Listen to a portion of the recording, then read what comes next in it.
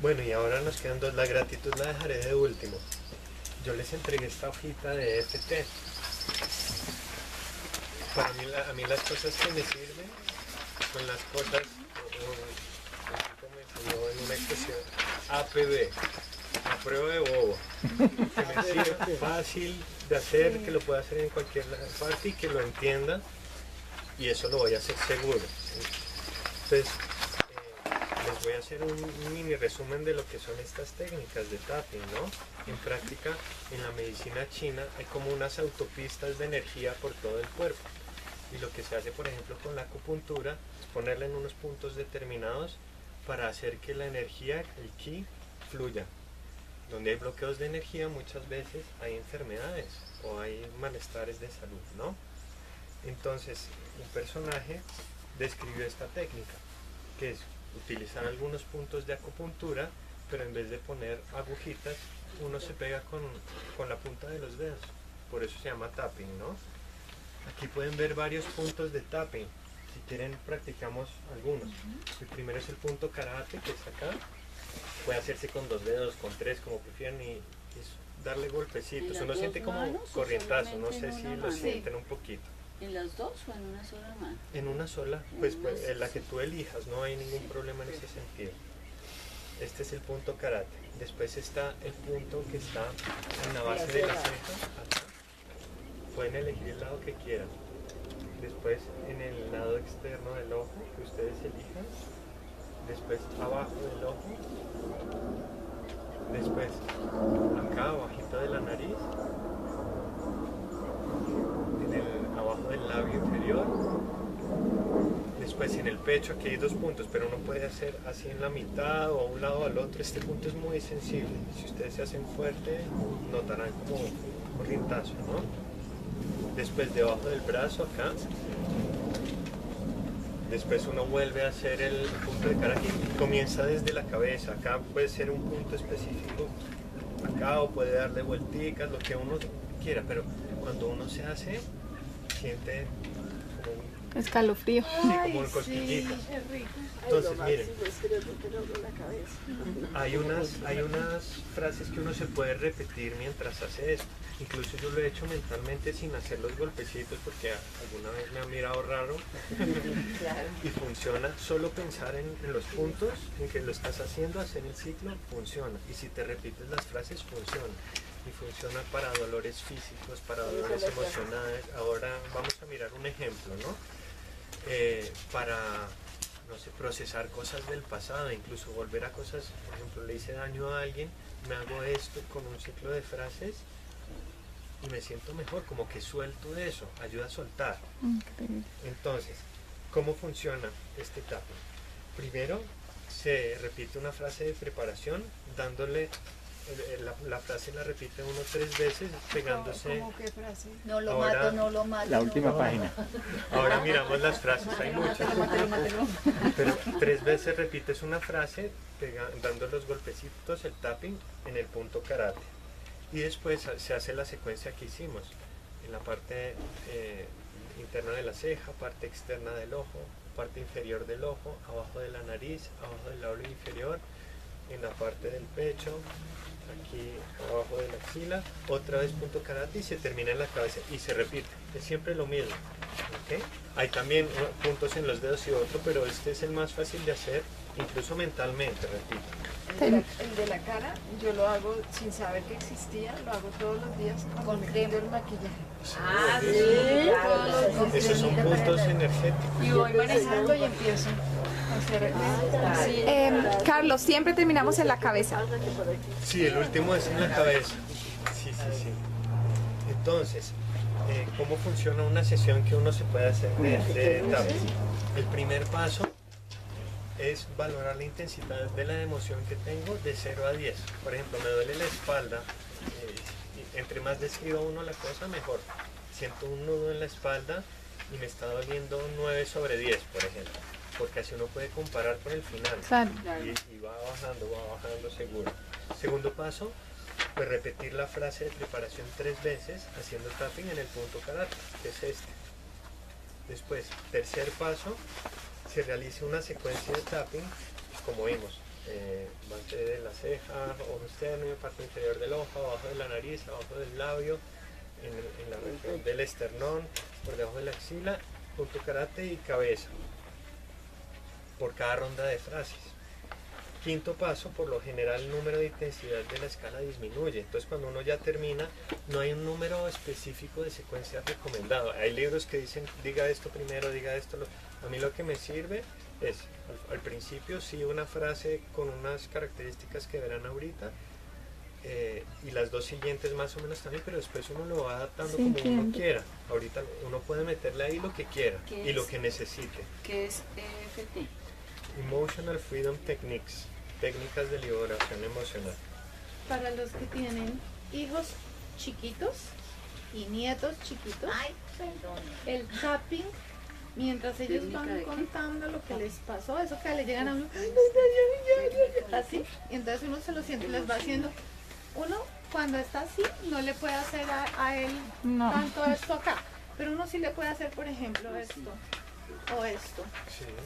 mientras lo tiene y los deja que le cuenten. Y es que entonces, sin decirles nada, o sea, no empiezas, no, pero cálmate, a ver, respira. Pero entonces no, calma, no, nada. Uno les deja que echen su rollo. Y entonces vino me, me quitó el juguete y yo le dije que no me dejara el pelo y me pellizcó y yo lo pateé y du, du, du, hasta que se empiezan a calmar, calmar, es calmar, cierto. calmar, calmar, calmar.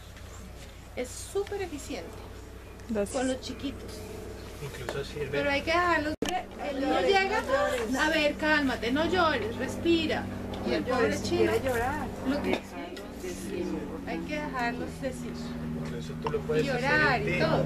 Lo puedes hacer en ti y le sirve. Y si uno lo hace, si alguien acá tiene un dolor y lo hacemos, es más efectivo todavía. Es, es Claro. particular esa cosa. Uno lo puede hacer por otra persona, enviarle, como la oración Sí. también enviarle eso. Sí, sí, sí. Tengo un dolorcito. Entonces se recomienda repetir la sesión las veces que sean necesarias hasta, alcanzar- hasta alcanzar el menor número posible en la escala de valoración de la emoción negativa.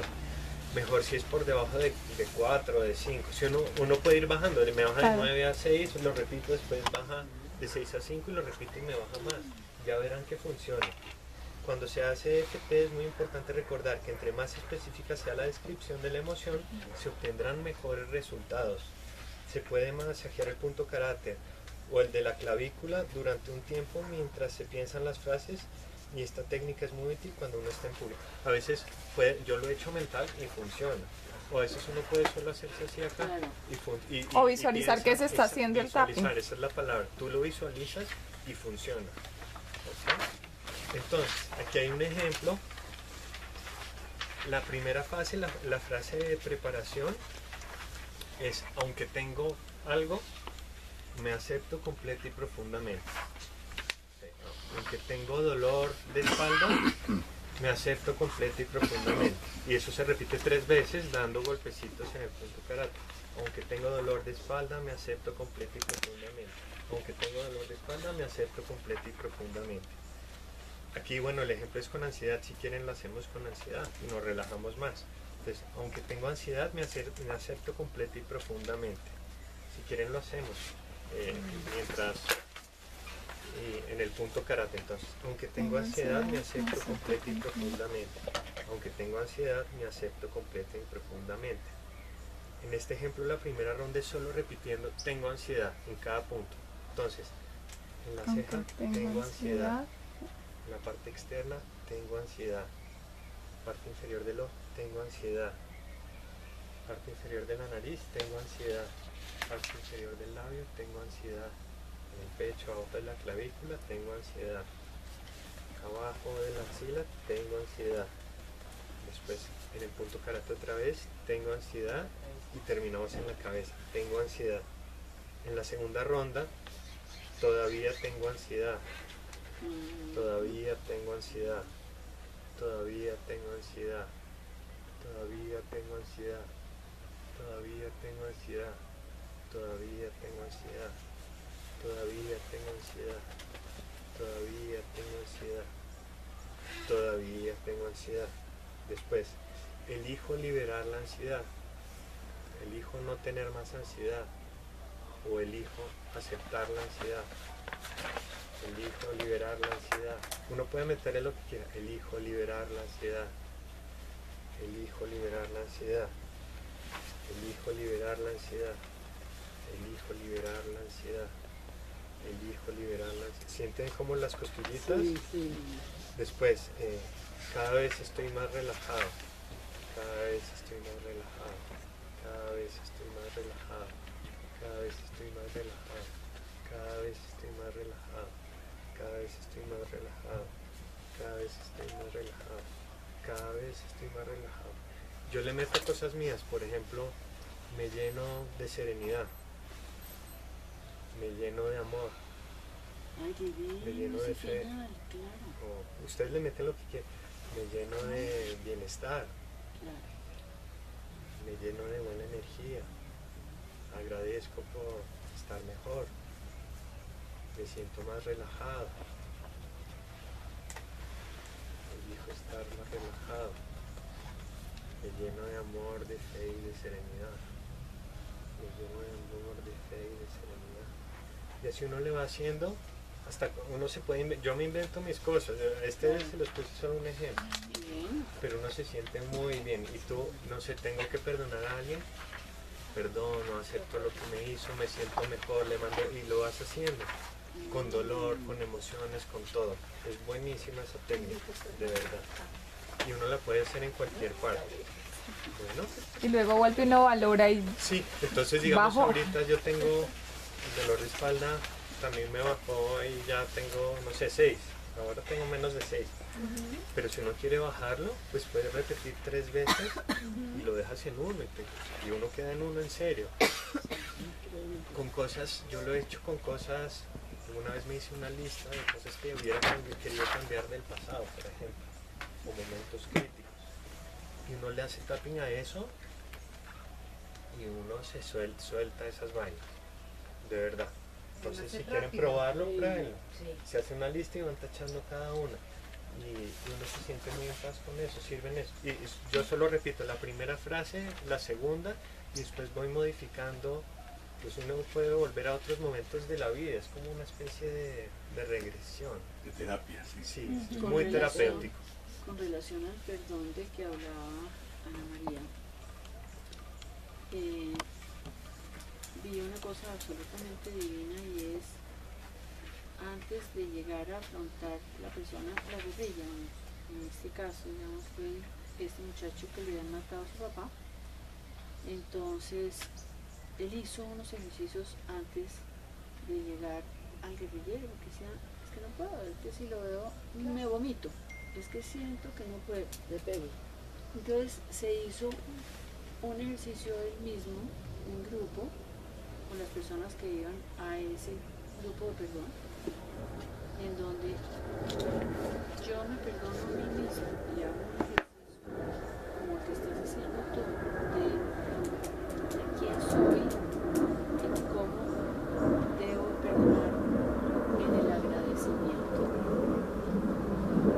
Cuando te llenas de agradecimiento en ese ejercicio, llegaron a la guerrilla y se pueden abrazar, abrazar y llorar el, el guerrillero y, y la persona que, que el guerrillero había, a- había matado al papá.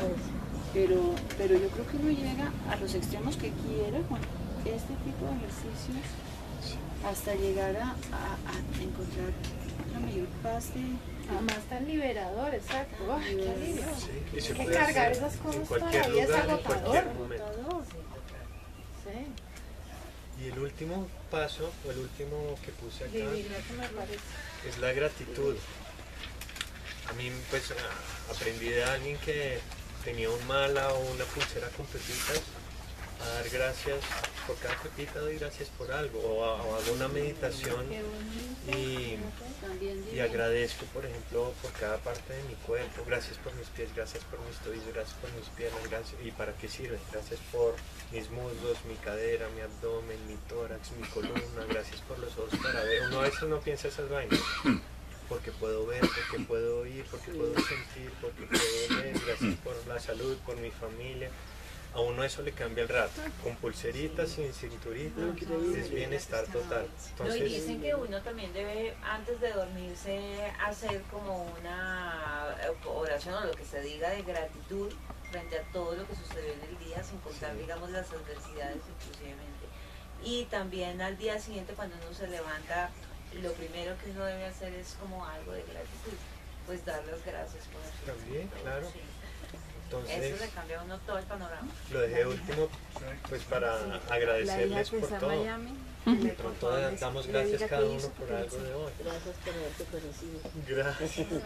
Gracias por la comida deliciosa, por la invitación, por, por Claro. compartir con ustedes de verdad, y por este Gracias, sitio. gracias. Está, Por no, este sitio maravilloso. Queda uno tranquilo. Ay, sí vamos a hacer. Gracias, pero Gracias. Muchísimo. algunas técnicas ahí, Además que son súper fáciles, no toca pues... pero a mí me sirven entonces. Son súper, pero súper, súper, súper Sí, útiles. ¿Sabes qué cosa tienes tú súper útil? Esa, esa cosita del- de los días, eso que dice hoy, hoy comí esto, hice esto, y no sé qué, el diario. Eso a mí me ha servido hartísimo para hacerme mucho más consciente. Además me evita, me evita el, el, el, eh, como el pecado impulsivo, o sea, esa cosa que, ah, yo me voy a comer es, ay, no me importa, pues me lo como.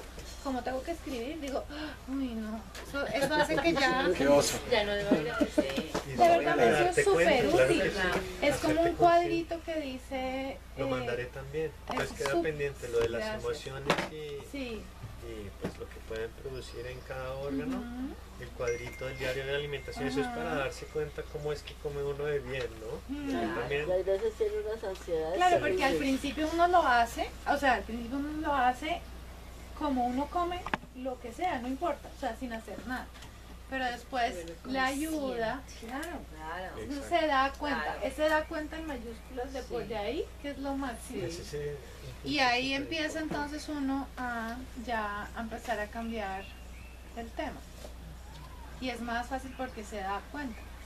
Hay, hay otro divino que es en cada día, en que si caíste en lo de la comida, o en la rabieta, o en lo que sea, se dan gracias cuando se comienza el día, ya hace uno conciencia hasta la hora del almuerzo, se dan gracias a la hora del almuerzo y se dan gracias por la noche. Entonces, gracias.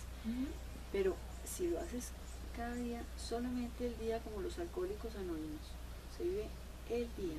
Claro. Eso es cierto, Y sí. lo que te equivocaste ayer lo estás mejorando hoy. Y lo que mejoras hoy, lo mejoras todavía mañana. Y les voy a traer, Carlos, y a ti también, para que lo repartamos. Una cosa absolutamente maravillosa que me llegó de un, un francés, una traducción de un francés, que se llama, eh, de las palabras tóxicas y las palabras sanadoras. En una forma, en un escrito tan sumamente poderoso, en donde la palabra es mágica nosotros estamos desperdiciando nuestra capacidad de transmisión para que la palabra que le llegue al otro no solamente sea sanadora, sino puedas tener un punto de equilibrio donde dejes algo de energía. Nos acaba de dar Carlos este rato tan específico. ¿verdad? Sí, Esas palabras, usarlas con esto. Ahí entra PNL, programación neurolingüística, te puedes autoprogramar con buenas energías, buenas palabras, Pero te mira, cambia el rato. por ejemplo, dicen también que uno es muy importante la actitud que uno tiene cuando uno va a comer. Que uno debe comer en actitud de gratitud. O sea, nunca cuando uno está bravo, enojado, bueno, que está con llanto, con lo- nada. Siempre cuando está bien. O sea, tú te sientes a comer y cada pedazo que tú te metes a la boca, hacerlo con gratitud.